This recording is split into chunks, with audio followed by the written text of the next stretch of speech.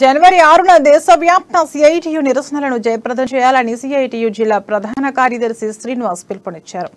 ఎనిమిదేళ్ళుగా scheme వర్కర్ల సమస్యలను పరిష్కరించడంలో కేంద్ర ప్రభుత్వం పూర్తిగా విఫలమైందని ఆయన అన్నారు. ఓ నిత్యావసర సరుకుల ధరలు ఆకాశానంటుతుంటే మరోవైపు చాలీచాలని వేతనాలతో కేంద్ర రాష్ట్ర ప్రభుత్వాలు ప్రవేశపెట్టిన స్కీమ్లలో పనిచేస్తున్న వర్కర్లు అనేక ఇబ్బందులు పడుతున్నారని ఫైర్ అయ్యారు. వర్కర్ల కనీస వేతనాన్ని ఇరవై ఆరు వేల రూపాయలకు పెంచాలని శ్రీనివాస్ డిమాండ్ చేశారు.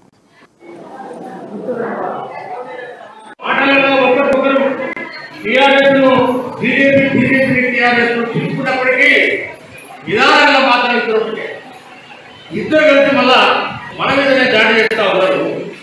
కాబట్టి ఈ ప్రభుత్వాల యొక్క కుట్రలను ఎవరి వరకు మీరు పరిపాలన చేస్తారనేటువంటి విషయాన్ని మనం ఒక్కసారి మనం ఆలోచిస్తే ఇలా కరోనా టైంలో ఎన్నో ఇబ్బందులకు గురై మనం గ్రామ పంచాయతీ కార్మికులు ఉన్నారు.